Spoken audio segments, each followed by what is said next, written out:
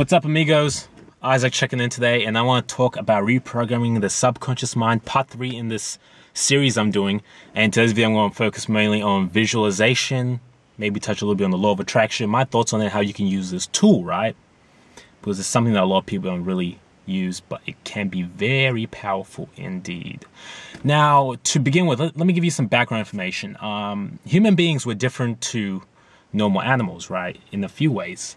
But one of the most obvious ways is through the capacity we have to abstract, the power of abstraction that we have, right?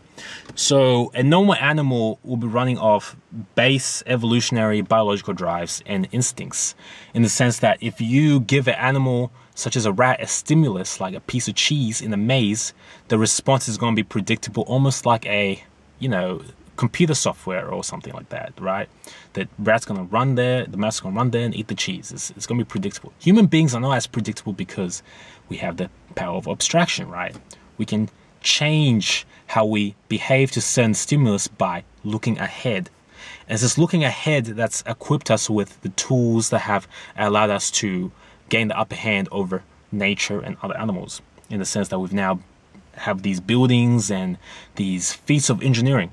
They all start from abstraction. They all start from someone being able to sit down today and think about the future, envision the future, envision certain ideas, visualize. That's the key word. Visualize things that haven't happened yet and keep it in the mind until it manifests in the real world, the real domain.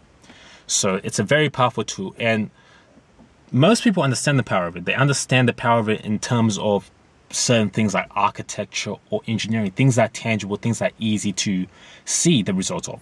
So when, you know, Einstein uses these uh, thought experiments to visualize these concepts of physics and then it leads to real laws being made that actually govern certain things in the physical plane, people understand that. Or when different scientists or engineers come up with the jet engine they visualize it and it comes into the real plane and now we're flying over different countries over the seas.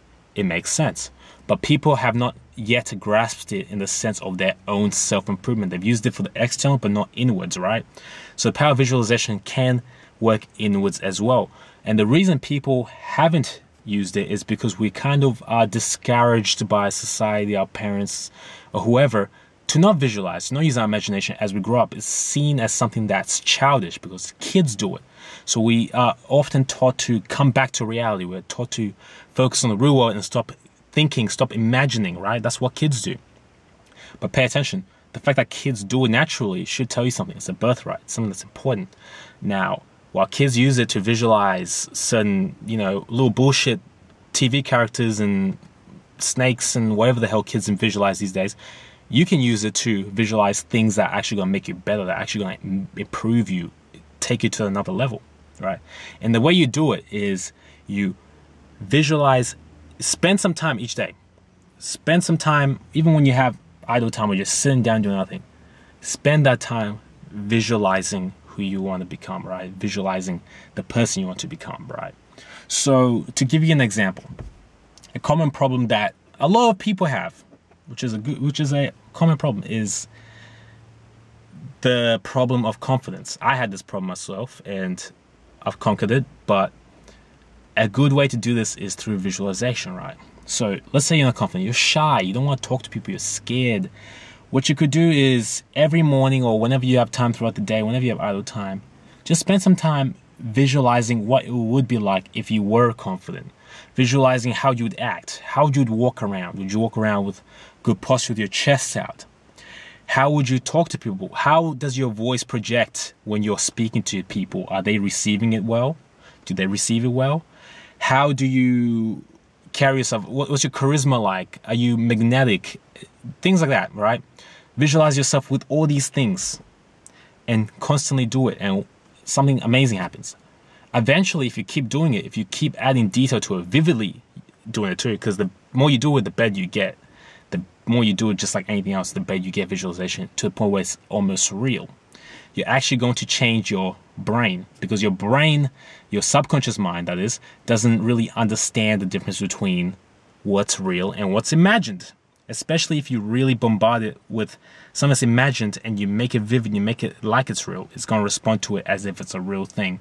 And surely, slowly but surely, you're going to start um, manifesting these things in the real world. You're going to start behaving this way without you even knowing it because your brain's going to be like, this is who we are now. This is what we've been doing, right? So let's keep doing it. Let's keep doing it. And you're going to start doing these things automatically without thinking about it. And just just think about it like when you're watching a movie, right? And you're watching a scary movie, sometimes you get so engaged into it that you actually cry, you feel those emotions and all these things, right?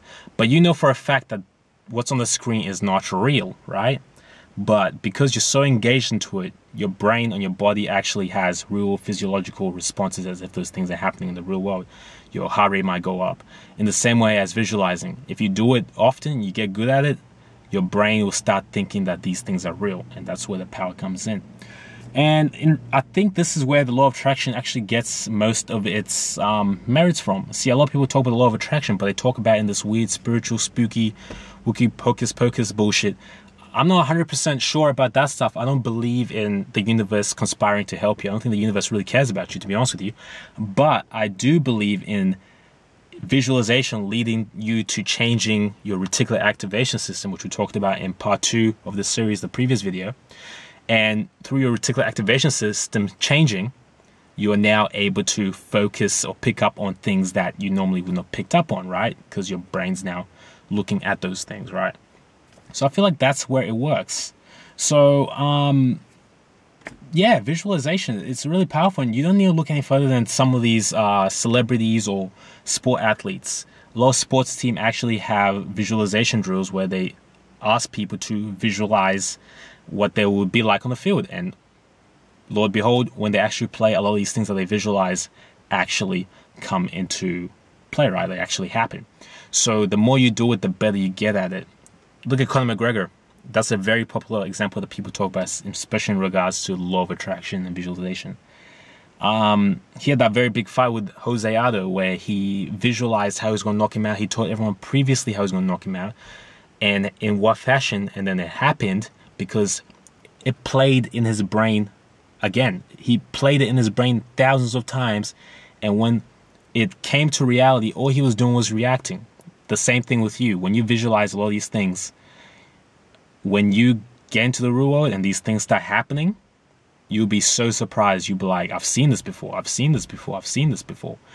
Now, of course, just like anything, you can't, this is not a uh, quick fix pill. It's not like you just visualize something one time and then it happens. It's not like you visualize a million dollars in your pockets and then just appear. That's not how this works.